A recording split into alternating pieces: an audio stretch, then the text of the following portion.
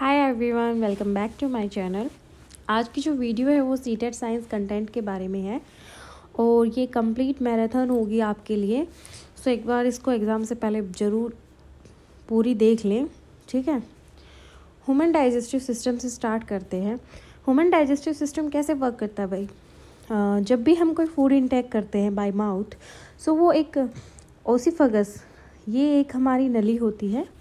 तो इससे होके गुजरता है वो जो फ़ूड होता है।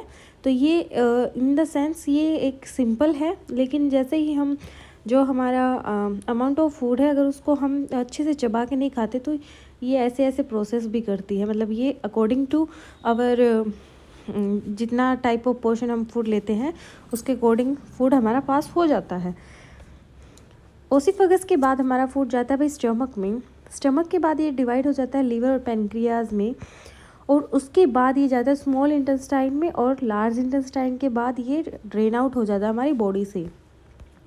फिर आता है न्यूट्रिशन। न्यूट्रिशन मेनली क्या है भाई?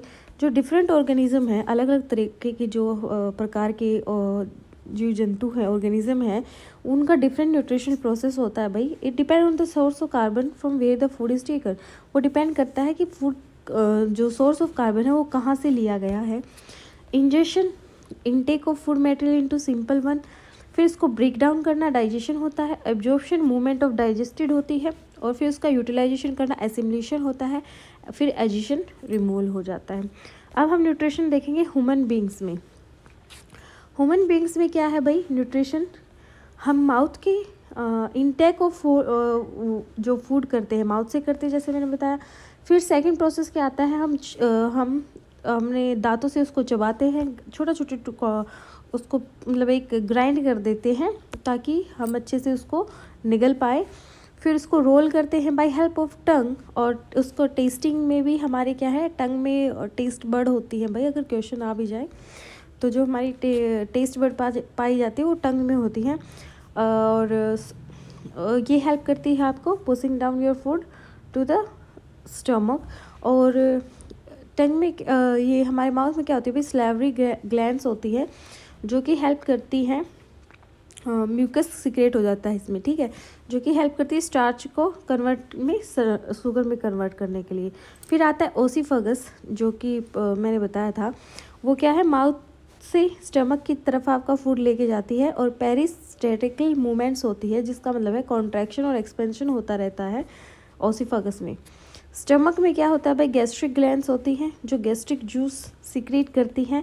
अब गैस्ट्रिक जूस भी क्या है भाई? पैप्सिन है एचसीएल है और म्यूकस है। म्यूकस तो क्या भाई? प्रोटेक्ट करता है हमारे स्टमक को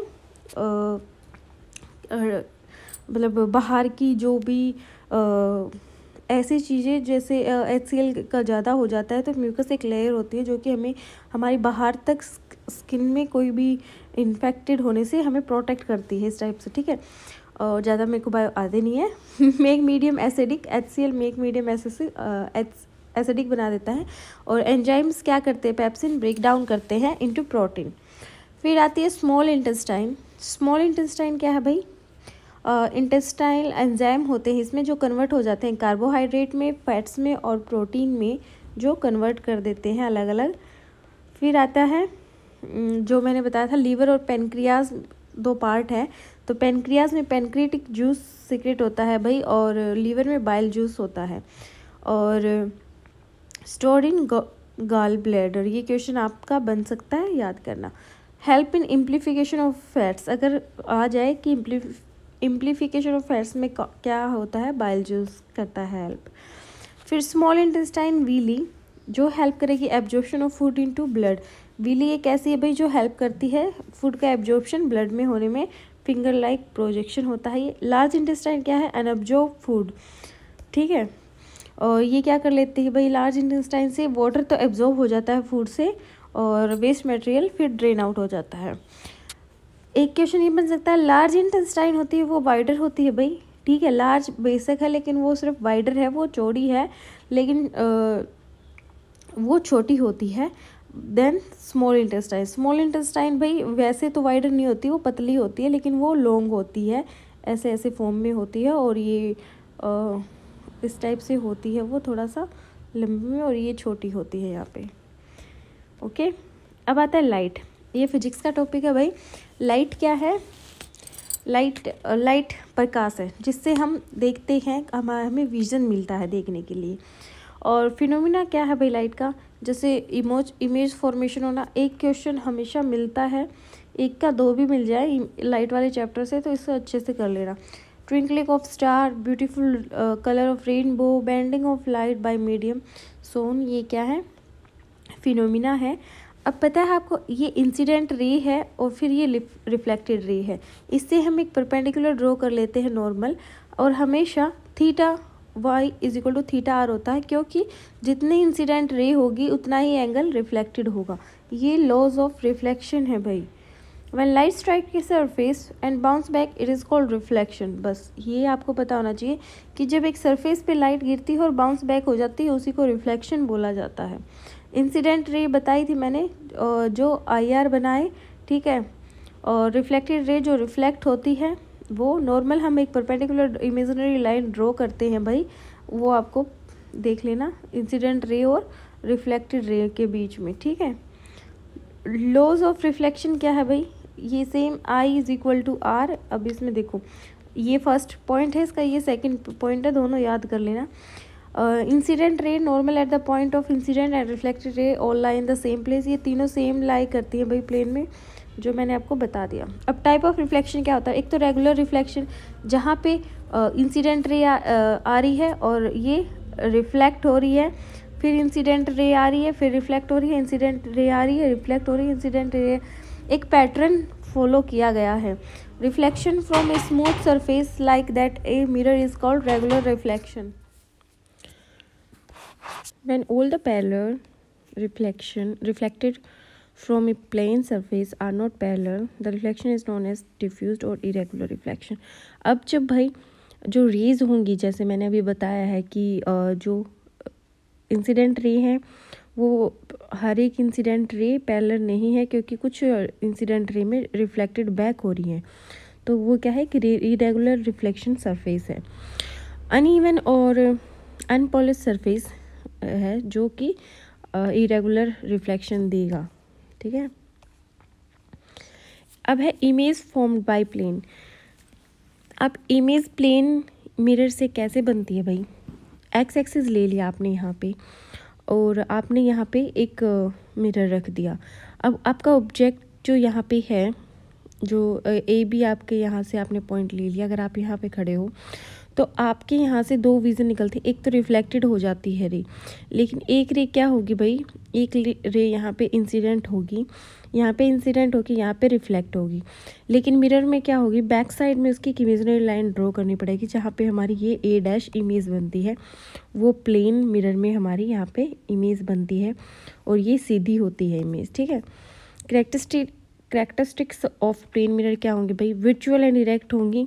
ठीक है सीधी होगी इमेज जो होगी हमारी और साइज़ ऑफ़ इक्वल साइज़ की होगी और जो बिहाइंड द मिरर बनेगी जैसे मैंने भी बताया है और लिटरली इन्वर्टेड होगी मीन्स अगर आपने अपना आ, आपने अपना लेफ़्ट हैंड उठाया है तो वो मिरर में आपको राइट right साइड दिखेगा। वो होता है literally inverted dispersion of light देखो भाई। डिस्पर्जन क्या होता है? किसी भी चीज़ का, किसी चीज़ पे जैसे रे के थ्रू अगर कोई चीज़ किसी सरफेस पे टच कर रही है और उसके बाद वो डिस्पर्स हो रही है अलग अलग जगह पे, उसको डिस्पर्जन बोलते हैं। अब डिस्पर्जन ऑफ़ लाइट क्या होगा भाई? जो स्पिल्टिंग मतलब फैलना of splitting of light into its constituent called dispersion of light मतलब लाइट का फैल जाना, ठीक है? उसके अलग अलग पार्ट में। उसको ही हम डिस्पर्जन ऑफ़ लाइट बोलते हैं। अब देखो वैसे तो एक नॉर्मल वाइट लाइट होती है भाई लेकिन जब एक प्रिज्म लेते हैं हम और उस पर जब वाइट लाइट स्ट्राइक करती है तो वो क्या है? वो एक आ, आपको सेवन कलर्स प्रोवाइड करवाएगी। ठीक है? अलग अलग कलर की। वो एक फिनोमिना है कि लाइट है वो डिस्पर्स हो गई है और हम इसमें वाइट लाइट लेते हैं। फॉर्मेशन ऑफ़ रेनबो अब क्वेश्चन आ जाता है कि जो रेनबो का फॉर्मेशन है वो किससे बनता है?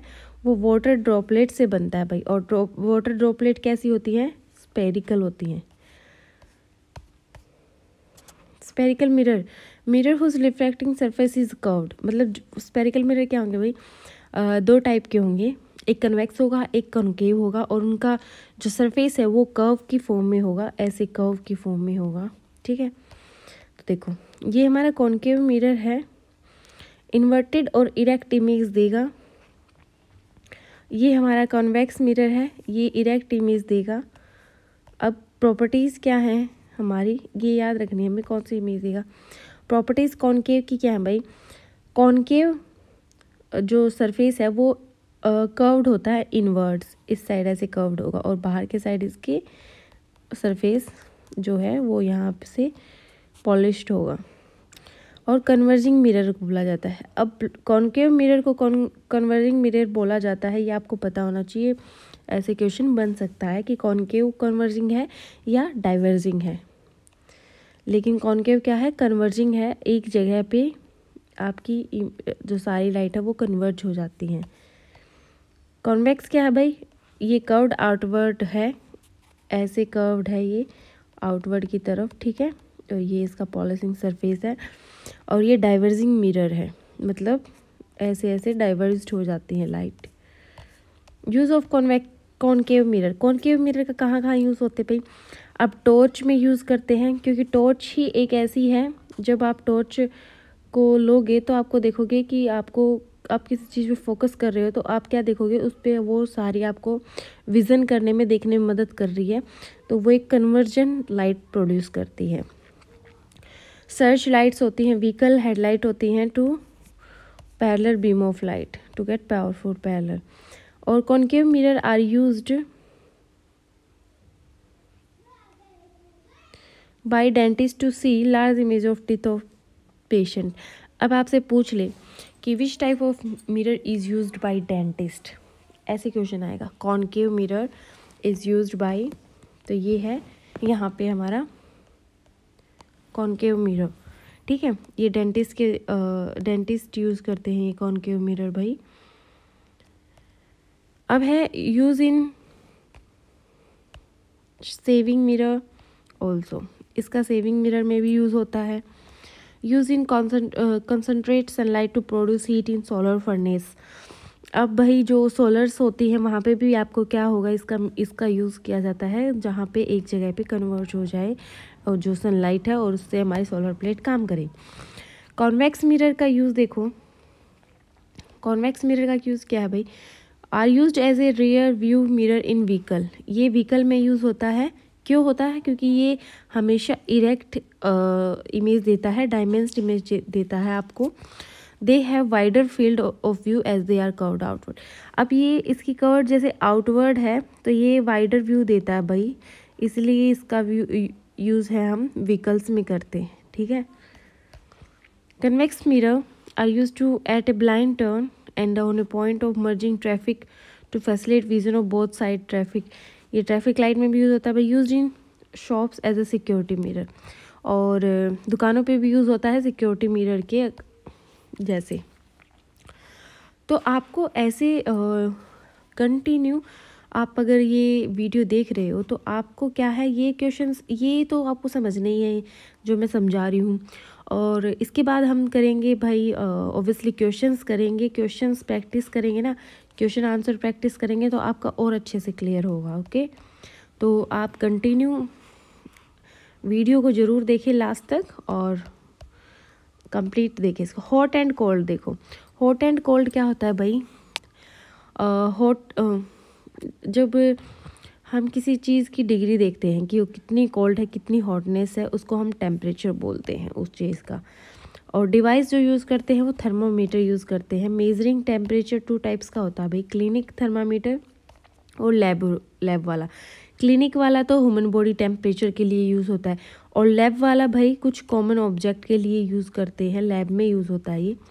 अब रीडिंग थर्मामीटर कैसे भाई? टेम्परेचर ऑफ़ क्लिनिक थर्मामीटर होता है ये क्वेश्चन आ सकता है direct thirty five degree Celsius to forty two degree Celsius और लैब वाला होता है भाई minus ten degree Celsius to one hundred ten degree Celsius unit होती है हमारी यहाँ पे सेल्सियस नॉर्मल बॉडी टेम्परेचर पूछा जाए thirty seven degree Celsius temperature read in three term है भैया सेल्सियस कैलविन और फेरानाइट फेरानाइट जिसमें टेम्परेचर को रीड किया जाता है. प्रिकॉशन क्या लेनी चाहिए क्लिनिक थर्मामीटर के लिए? आपको कभी भी थर्मामीटर को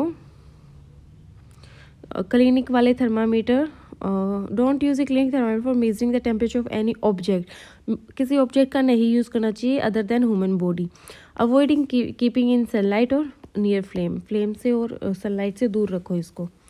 सी ब्रीज क्या है भाई? सी ब्रीज एक फिनोमिना है जो कि कोस्टल एरियाज़ के अंडर में होती है भाई। इसमें क्या होता है ड्यूरिंग जब दिन होता है उस समय क्या होता है जो लैंड है वो हीट हो जाती है। हीटेड फास्टर होती है दिन के टाइम पे और जो वाटर है वो बाद में होता है। लेकिन जो एयर ओवर द लैंड है जो हवा है आ, हमारी जो ए, उसके किनारे पे होती है become hotter and rise up तो भाई अगर ऑब्वियसली क्या है एक तो वो जल्दी गर्म होती है। और वहाँ पे जो आप देखोगे तो वो एयर भी तो हॉटर ही आएगी आपके पास। So the cooler air from the sea जो वो, जो कूल एयर सी की तरफ़ से आती है, इन आपकी लैंड की तरफ़ तो क्या होता है? Warm air from the land move towards the sea तो जो वार्म वाली है, वो सी की तरफ़ मूव कर जाती है। तो कंप्लीट साइकिल हो जाती है ये। देखो, अब गर्म हवा तो जा रही है वाटर की तरफ़, और वाटर से आ रही है ठंडी हवा तो एक ये साइकिल ही होगी ना? ये इसको सी ब्रीज बोला गया है। लैंड ब्रीज क्या होता है भाई? जब शाम का टाइम होता है तो क्या होता है, ये प्रोसेस रिवर्स हो जाती है, क्योंकि शाम के टाइम पे water cools down more slowly पानी तो आपका धीरे धीरे स्लो होगा। देन द लैंड लैंड जल्दी जल्दी कूल हो जाएगी। सो कूल एयर जो लैंड की तरफ़ मूव्स कर रही थी टुवार्ड्स द सी अब वो क्या हो जाएगा, वो रिवर्स हो जाएगा। अब जो कूल एयर है वो तो लैंड की तरफ़ से जा रही है और हॉट एयर सी की तरफ़ से आ रही है तो ये फिर से एक साइकिल प्रोसेस हो जाएगी लैंड ब्रीज होता है। अब देखो। एसिड्स एंड बेस देखो। एसिड एंड बेस भाई आपके लिए इंपॉर्टेंट है। एसिड तो होते हैं भाई सोर इन टेस्ट थोड़े से खट्टे होते हैं ये। ठीक है? Substance that are sour to taste are acidic in nature जो आपको लगे कि ये इसमें थोड़ा खट्टापन आ रहा है तो समझ लेना वो एसिड इन नेचर है। अब कर्ड है लेमन है ऑरेंज जूस है विनेगर है, ये सब एसिड हैं भैया आपके। बेस क्या होता है? ये बिटर होता है थोड़ा सा और इसका टेस्ट होता है सोपी नेचरिन होता है, ठीक है? और जो आपको लगे टेस्ट में थोड़ा सा कड़वा कड़वा तो समझ लेना कि वो बेसिक इन नेचर है, जैसे बेकिंग सोडा है एंटा एसिड है कास्टिक लाइम है। एग्ज़ाम्पल याद रखना एग्ज़ाम्पल ही आते हैं। इंडिकेटर क्या है भाई? जो आपको बताए कि सब्सटेंस एसिड है या बेसिक इन नेचर है। ठीक है? उनकी एसिडिटी और बेसिसिटी चेक करने के लिए यूज़ होता है ये, ठीक है? चेंज कर देता है कलर को। अब देखो नेचुरल इंडिकेटर आ जाए आपसे तो turmeric litmus China rose petals, गुड़हल, ये नेचुरल है और मोस्ट कॉमनली यूज़ इंडिकेटर है लिटमस सॉल्यूशन और turmeric paste and China rose also natural indicator rose indicator becomes dark अब देखो, जो रोज़ इंडिकेटर होगा वो डार्क पिंक हो जाएगा वैन एसिडिक सब्सटेंस जब एसिड सब्सटेंस होगा, अगर आप उसको डालोगे तो वो डार्क पिंक शो कराएगा. Is added to it and return to green when a basic in nature और ग्रीन हो जाएगा अगर वो बेसिक इन नेचर होगा. तो आपको ये चीज़ याद रखनी है कि एसिड है तो वो डार्क पिंक हो जाएगा और बेस है तो वो ग्रीन हो जाएगा. टर्मरिक जो पेस्ट है वो रिमेन येलो इन एसिड रहेगा. चेंज इन अगर भाई आपके पास एसिड है और आप उसमें टर्मरिक पेस्ट डाल रहे हो तो वो आपका चेंज कलर नहीं करेगा और बेस होगा उसमें तो वो जबकि जब आपका रेड कलर शो करा देगा. नेचुरल सब्सटेंस क्या होते हैं? भाई substance that are neither acidic nor basic in nature are call neutral ना ही तो एसिडिक होते हैं, ना ही वो बेसिक होते हैं, उनको न्यूट्रल बोलते हैं। कलर का कोई उसमें इंडिकेटर का यूज़ नहीं होता। न्यूट्रलाइजेशन रिएक्शन क्या होगी भाई? जब हम एसिड के साथ बेस को ऐड कर दे तो न्यूट्रलाइज कर देगा, ठीक है? क्योंकि आपने देखा है, जब हमारे अंदर एच एसिड होता है, हमारे बॉडी के अंदर, और अगर एसिडिटी हमें हो जाती है तो हमें बेस का सॉल्यूशन दिया जाता है, ताकि हमारी जो एसिडिटी है, वो कंट्रोल में आ जाए हमारे पेरेंट्स के द्वारा तो वो दिया जाता है। और अब आता है एंट स्टिंग एंट स्टिंग में कौन सा एसिड पाया जाता है? भाई आ सकता है क्वेश्चन डायरेक्ट फॉर्मिक एसिड मिलता है एंट स्टिंग में। और the effect of this acid is neutralize by rubbing moist baking soda अगर पूछा जाए if you are bite by ant sting then which type of neutralize acid you use तो वो आएगा baking soda sodium hydrogen carbonate अगर नाम है तो वो भी। और कैलेमाइन सॉल्यूशन भी बेस्ट माना गया है क्योंकि that contain zinc carbonate indigestion क्या होगी भाई? मिल्क ऑफ़ मैग्नीजिया इंपॉर्टेंट है magnesium hydroxide and antacid use to neutralize the effect of acid produce in our stomach ये यूज़ होता है भाई magnesium hydroxide milk of magnesia crop देखो, दो टाइप की क्रॉप होती है, एक तो खरीफ क्रॉप एक रबी क्रॉप और आपको पता है, ये जो क्रॉप है, अगर देखो, अगर रबी क्रॉप है तो रबी एक छोटा नाम है तो जितने भी छोटे नाम हैं, जैसे गेहूँ है, चना है ये इस टाइप के किसमें आ जाएँगे आपके? ये रबी क्रॉप में आ जाएँगे। और ये रबी है तो थोड़ा थोड़ा समझ जाना कि ठंड के मौसम में होंगे ये। और खरीफ मतलब थोड़ा ख़राब ख़राब तो जैसे आपको गर्मी के टाइम पे महसूस होता है तो ये खरीफ वाले गर्मी में होती हैं फ़सल। ये हिंदी में बता दिया मैंने आपको। अब इंग्लिश में देखो, जो क्रॉप है, जो रेनी सीज़न में हो जून टू सितंबर गर्मी के टाइम से स्टार्ट हो, वो है सोयाबीन पैडी और मैजे। ये है, और rabi crop that are grown in during winter जैसे अभी के टाइम पे अक्टूबर टू मार्च करेंगे, वो क्या है भाई, गेहूँ है, हमारा चना है, मटर है, और सरसों भी इसी में इंक्लूड होता है भाई। ठीक है? Mustard basic crop production practice क्या करेंगे भाई प्रिपेयर करेंगे अपनी सॉइल को फिर बीज बोएँगे उसमें, फिर उसमें फर्टिलाइज़र करेंगे इरिगेशन करेंगे उसका, और वीड्स हैं, उनसे बचाएँगे हार्वेस्ट करेंगे और स्टोर्स करेंगे। सेलुलर रेस्पिरेशन क्या होगा भाई? अब जो फ़ूड है हमारा, जो ब्रेक डाउन होता है, खा, और रिलीज़ करेगा वो हमारी सेल को एनर्जी जो हम फ़ूड इंटेक करते हैं वो। और ये ऑल लिविंग ऑर्गेनिज्म में होता है, एक तो एरोबिक होता है एक एनएरोबिक होता है। एरोबिक क्या होता है भाई? जो ब्रेक डाउन है फ़ूड का, वो प्रेजेंस ऑफ़ ऑक्सीजन में हो, ठीक है? ऑल ऑर्गेनिज्म में होता है और ये क्या carbon dioxide water and energy को प्रोडक्ट प्रोडक्ट्स करता है, जैसे ग्लूकोज लिया आपने। ऑक्सीजन की प्रेजेंस में हुआ C O two plus water plus energy मिल गई आपको। और it is the process of break down of food in the absence of oxygen yeast bacteria human ये एनएरोबिक होता है भाई, जो अब्सेंस ऑफ़ ऑक्सीजन हो।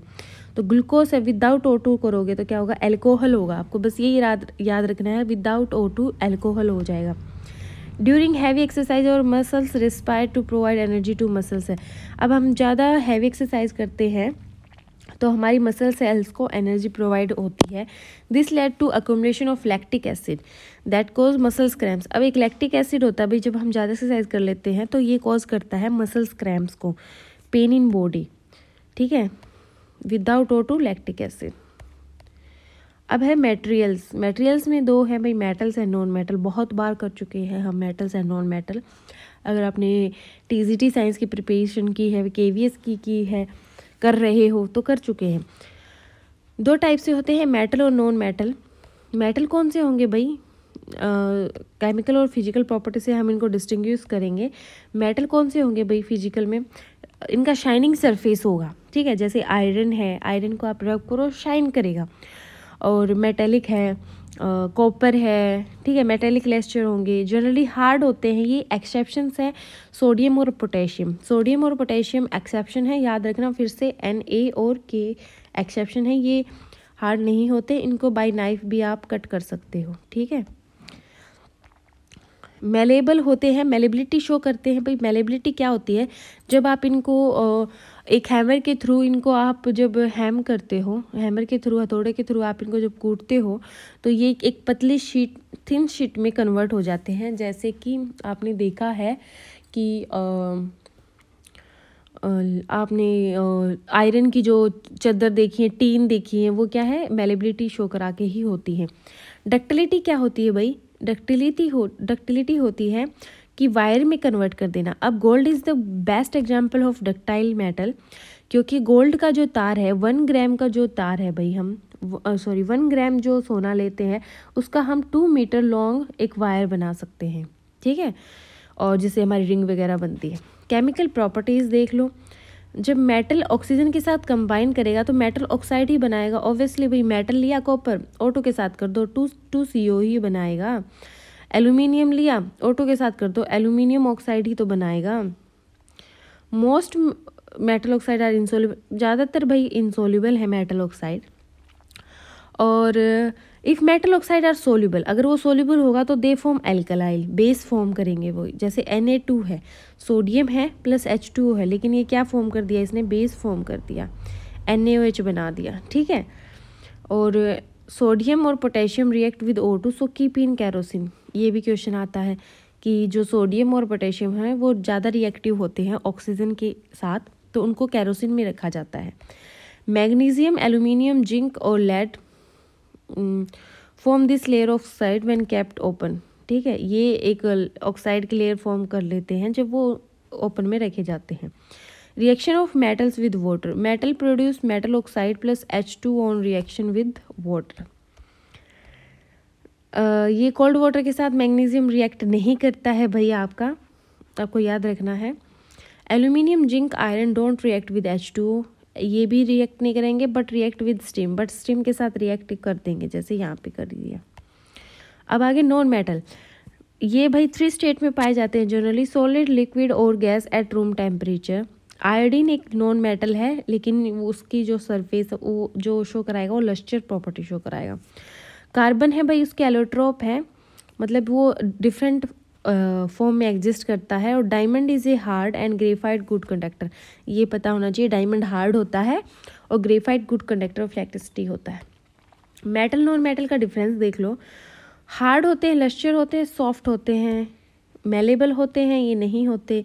ये सोनर भाई एक साउंड प्रोड्यूस करेंगे जब इनको हैमर के थ्रू आप हिट करोगे तो। गुड कंडक्टर हैं, पुअर कंडक्टर हैं, ये रिएक्ट विद ओ टू करेंगे भाई, ये नहीं करते। और रिएक्शन विद एसिड देखो जो मेटल डाइल्यूट एसिड के साथ आप करोगे तो metal salt plus H two O मिलेगा। जब मेटल डाइल्यूट एच एसिड के साथ किया तो जो एच टू आएगा, वो भाई एक पॉप साउंड आपके क्रिएट करेगा। तो ये भी आपके लिए इम्पोर्टेंट है मार्क कर लो। H two does not evolve in case of H N A two as it strong oxidize agent और एच एन टू के साथ नहीं होगा भाई ये। इट ऑक्सीडाइज ओ टू वो ऑक्सीडाइज कर देगा ओ टू को। Copper does not react with acid like dilute S two S O two and H C L copper नहीं रिएक्ट करेगा भाई इनके साथ। एक्वारेजिया क्या होता है भाई? एक्वारेजिया होता है, फिर freshly prepared concentrated H C L and concentrated H N O two in three ratio one में हो। It can dissolve even gold and platinum अगर क्वेश्चन आ जाए गोल्ड और प्लेटिनम को कौन डिजोल्व कर देता है? तो एक्वारीजिया थ्री रेशो वन में होता है। उसमें एच सी एल और H N O two concentrated होता है।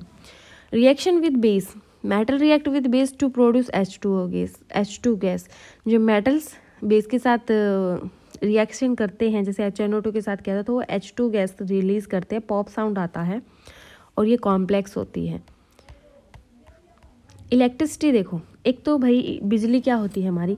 या तो कुछ कंडक्टर ऐसे, कुछ ऐसे एलिमेंट होंगे जो गुड कंडक्टर ऑफ़ इलेक्ट्रिसिटी होंगे, कुछ ऐसे होंगे जो पुअर कंडक्टर ऑफ़ इलेक्ट्रिसिटी होंगे। अब मेटेरियल विच अलाउ इलेक्ट्रिक वो तो भाई कंडक्टर गुड होगा और जो नहीं करेगा वो पुअर होगा। डेफिनेशन तो है ही। अब देखो, ये मेन यही है। लेमन जूस है, वो गुड कंडक्टर है। विनेगर गुड कंडक्टर है a solution based solution salty water tap water क्योंकि इनमें आयंस प्रेजेंट होते हैं, जो कि चार्ज कैरियर होते हैं, और ये सारे पुअर कंडक्टर हैं। Kerosene honey vegetable distil water coal tar ये पुअर कंडक्टर हैं। ब्लड आ गया भाई बायो आ गई फिर से। ब्लड क्या है? फ्लूड कनेक्टिव टिश्यू है। और इसमें क्या होता है भाई एक तो सॉलिड कंपोनेंट होते हैं ब्लड कॉर्पले कॉर्पेसल्स और लिक्विड कंपोनेंट प्लाज्मा अब आरबीसी होती है ब्लड प्लेटेट होती है डब्ल्यूबीसी होती है। अब देखो आरबीसी तो क्या होती है भाई, जो हमारी कैरियर्स करती हैं गैस, ठीक है? और O two contain H B impart red colour to blood ठीक है? हीमोग्लोबिन होता है भाई, जो रेड कलर शो कराता है। और ब्लड प्लेटलेट्स क्या हैं भाई? हेल्प इन ब्लड क्लोटिंग ये हेल्प इन करते हैं ब्लड क्लोटिंग में, अगर चोट लग जाए तो। डब्ल्यूबीसी क्या है भाई? ये आपको एक तरह से आपकी क्या होती है? एंटीबॉडीज़ होती हैं एंटीबायोटिक्स होती हैं आपकी, जो कि आपकी आत्म जो रोग निरोधक रोग की जो क्षमता होती है खुद की बॉडी की, उसके लिए यूज़फुल होती हैं ये। और ये yellow colour fluid contain ninety percent water and ten percent ये प्लाज्मा प्रोटीन है और ये इनऑर्गेनिक मिनरल्स हैं भाई। ब्लड वेसल्स एक तो आर्टरीज होगी वेंस होगी। आर्टरीज क्या होंगी भाई? जो आपका oxygenated blood heart to body देखो। हार्ट टू बॉडी जो करेंगी ट्रांसफो कैरी करेंगी oxygenated blood except pulmonary artery ठीक है पल्मेनरी आर्टरी नहीं होगी इसमें। और ये डीऑक्सीजनेटेड ब्लड करेंगी ये करेंगी बॉडी पार्ट टू हार्ट ठीक है, ये एक प्रोसेस है भाई ऑक्सीजनेटेड तो जाता है हार्ट टू बॉडी और डीऑक्सीजनेटेड ऑक्सीजनेटेड जाता है बॉडी टू हार्ट इसमें पल्मेनरी वेन इंक्लूड होती है। Also called dis distributing vessels और ये थिक होती हैं इलास्टिक होती हैं डीप सीटेड होती हैं। ये कलेक्टिंग वेसल्स होती हैं, भाई थिन होती हैं सुफेरिक स्पेरिकल सुपरफिशियल और कंपेयर्ड होती हैं, ठीक है? Transportation in plants there are two main conducting pathway in plant एक तो जाइलम के थ्रू एक फोलियम के थ्रू जाइलम क्या है, भाई? Carries water and minerals from the roots to other part of ये रूट्स से वाटर लेता है और मिनरल्स लेता है और प्लांट के अदर पार्ट तक पहुंचाता है जाइलम नो एनर्जी यूज़ कोई एनर्जी यूज़ नहीं होती. फोलियम क्या है, भाई? ये फोटोसिंथेसिस मतलब आपकी सन से इनसे लेके लीव्स टू अदर पार्ट्स पहुँच जाता है। लीव्स से आपके अदर पार्ट में जाता है और एटीपी एनर्जी यूज़ होती है। ट्राईफॉस्फेट समथिंग होता है ये। Transpiration is the process of loss water as vapour aerial parts of plant अब आगे ग्लैंड्स हार्मोन एंड फ़ंक्शंस इनके पिट्यूटरी ग्लैंड आ जाए भाई, ये ग्रोथ हार्मोन होता है। रेगुलेट ग्रोथ करती है। फंक्शनिंग ऑफ़ एंडोक्राइन को कंट्रोल करती है। थायराइड थायरोक्सिन हार्मोन होता है भाई। मेटाबॉलिज्म रेट को कंट्रोल करता है और बैलेंस करता है ग्रोथ को। अब आ गया पैराथोर पैराथी पैराथी पैराथीरोइड ये पैराथो हार्मोन होता है, इसमें भाई कंट्रोल कैल्शियम बैलेंस को करता है पैराथोर्मोन एड्रेनिल होता है भाई Adrienne adrenaline prepare body for emergency के लिए होता है। पेनक्रियाज में इंसुलिन हार्मोन होता है। ये ग्लूकोज ले, लेवल को करता है। टेस्ट में टेस्टोस्टेरोन होता है ये development of male reproductive system होता है। ओवरीज में ऑस्ट्रोजन और प्रोजोस्ट्रॉन ये लेडीज़ में मिलता है भाई ये जेंट्स में मिलता है। Control growth and development of female reproductive